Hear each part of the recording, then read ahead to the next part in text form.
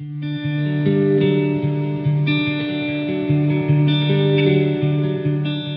pessoal, tudo bem com vocês? Espero que sim, aqui é o Roger e hoje eu vou falar sobre um vegetal que suas folhas e flores são comestíveis. Interessante, né? E a gente às vezes tem no quintal da gente e não sabe desse benefício, olha que bacana.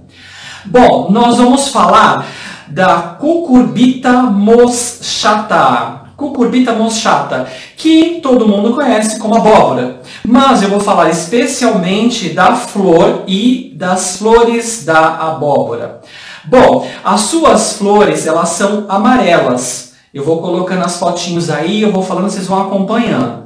Que elas podem ser refogadas, você pode usar recheada com carne, você pode rechear com queijo e legumes, aí vai da sua criatividade, né, da, da, sua interação com a cozinha. Empanadas também, você pode empanar, muito gostosa. Use sempre óleo também, é, óleo de, de, coco, que é bem importante. Você pode colocar nas saladas e também é, omelete, fazer omeletes, fazer suco e chás.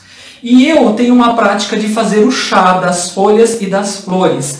Ou às vezes eu bato no liquidificador, ou deixo bem batido e bebo, ou senão eu coo e tomo aquele líquido do suco, certo? Que é água filtrada, de preferência a pH acima de 7. Então vai de cada um. Bom, as suas folhas elas são utilizadas em sopas, refogados e saladas também, que são deliciosas e tem muita muita coisa boa pra gente, muita informação boa. Além de ser punk, o que seria punk, Roger? Plantas alimentícias não convencionais. As convencionais a gente encontra no mercado, na feira, e essas plantas, essa, é, esse ritual de a gente utilizar a flor e a folha vem lá de trás, e isso ficou para trás, ficou uma prática que não é utilizada hoje em dia. Mas nós precisamos voltar, porque tem muitas plantas no nosso quintal que têm excelentes vitaminas, minerais e são medicinais, a gente não sabe, a gente acha que é erva daninha. Bom, a flor nós podemos encontrar, e folhas também, podemos encontrar muita fibra, fibra e ferro e cálcio. O cálcio necessário do nosso dia a gente consegue ingerir através dessas folhas e dessas flores, que é o que supre o nosso organismo. Além de fósforo, riboflavina, vitamina A com grande propriedade, vitamina C com grande propriedade, além dos complexos B, que nós também precisamos para o nosso organismo. Bom, quais são os benefícios para o nosso querido organismo? Essa, essa, essa flor chamada abóbora, ela apresenta muita riqueza de fibras e água inclusa, que ajuda na melhoria dos nossos intestinos. Ajuda em uma série de fatores. Além de melhorar o seu intestino, eliminar gases, melhora o bolo fecal e aí você consegue ter um processo regular do seu organismo, nos seus intestinos. Além de melhorar a nossa diabetes, baixar, equilibrar e melhorar, trabalhar em conjunto com o pâncreas, nós temos também uma melhoria do colesterol ruim do nosso organismo, também fazendo aquela, aquele equilíbrio, trazendo aquele equilíbrio para nós.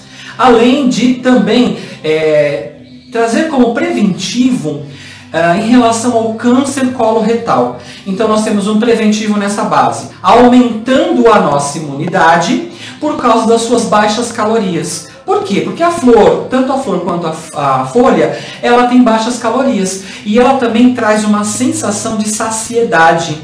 Quando você come pouco, porque assim, você comer uma folha é muito leve, você comer uma flor da abóbora é muito leve, mas ela traz um teor de saciedade, você não quer comer mais. Então esses pratos, né, que eu vou colocar aí no, nas informações do vídeo, alguns pratos que são feitos com esses dois elementos, a folha e a flor, que são maravilhosos. Quem sabe um dia eu vou ter uma, uma cozinha igual a Ana Maria Braga, eu vou poder fazer esses pratos para vocês em tempo real, vai ser bem legal, né? Fazer uma live assim, vai ser bem bacana. Bom, além disso, nós, nós temos também uma melhoria da contratibilidade muscular, né? A melhoria de contratibilidade muscular, com que a gente possa ter melhor respiração no músculo e melhor resultado e melhor resposta. Olha que bacana. Além de coagulação sanguínea, melhorar a sua coagulação sanguínea, se você tem esse problema. Além da gente também tratar uma osteoporose, melhorar a nossa parte óssea, porque a, o cálcio que ela nos oferece supre o dia, como eu disse ajudando nesse processo de desenvolvimento ósseo, evitar uma osteoporose, um problema de queda, de, de fratura, dente mole, dente fraco. Então a gente ajuda bastante também nesse processo. Além da visão, nós temos melhoria na visão, eliminando muitas coisas, retinopatia diabética, catarata e aí vai. Bom, ela também tem um teor assim de melhoria na sua parte é, hormonal que a gente melhora as funções sexuais. Não que ela seja liberada para libido, para dar uma melhorada, que nem a catuaba, nó de cachorro, é. Não. Ela também tem um pequeno teor, ela melhora, quer dizer, ela equipara, organiza e arruma a parte hormonal e aquelas funções chatas da mulher no mês também dá uma melhorada, TPM dá uma melhorada, fogacho dá uma melhorada. Então, para você ver, dá uma equilibrada no organismo. Poxa, que bacana, né? As folhas e as flores fazerem isso. São práticas, a gente pode ter no nosso quintal. Pois é. é isso. Antioxidante, graças a Deus. Imunológica, graças a Deus. As suas enzimas reparadoras. Porque assim, é, enzimas fantásticas, que nem a folha da acerola, tem enzimas maravilhosas para te emagrecer com rapidez tem um vídeo aí no canal. E também ela, as folhas e flores da abóbora, elas fazem um reparo enzimático, melhorando, te imunizando, evitando o câncer, eliminando o câncer do seu organismo, aumentando os glóbulos brancos e aí vai.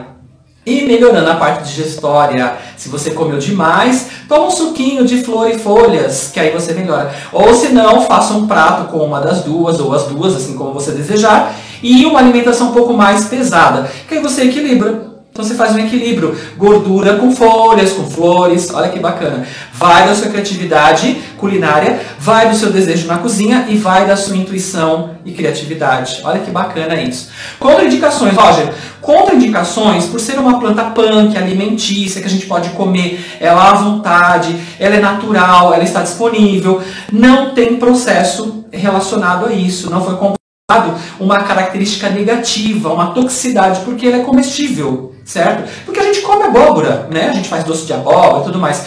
Por que não comer a folha e por que não alimentar-se da flor? Mesma função, perfeito. Não tem, a não ser alergia do vegetal, certo? Da abóbora. Se você tem alergia esse processo amarelo, abóbora, né? De cor de abóbora, se você tem esse processo, então é melhor você evitar. Raro, não conheço ninguém que tem esse problema, mas tudo bem.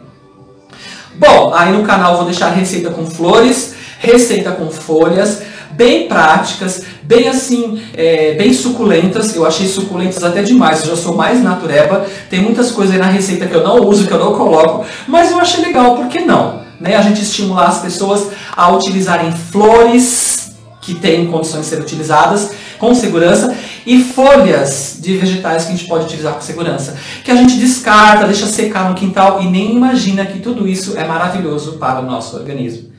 Gratidão, queridos, cucurpita mochata, certo? Utilizamos, agradecemos e até o próximo vídeo. Namastê, namastê, namastê, namastê.